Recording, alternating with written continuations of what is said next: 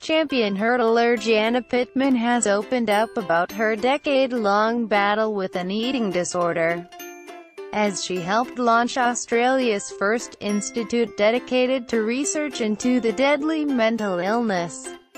The 35-year-old said she developed bulimia nervosa in 2004 and struggled with the illness as her sporting career took off. Read more. One evening, in the early stages of my bulimia nervosa, I recall going out and eating what I wanted.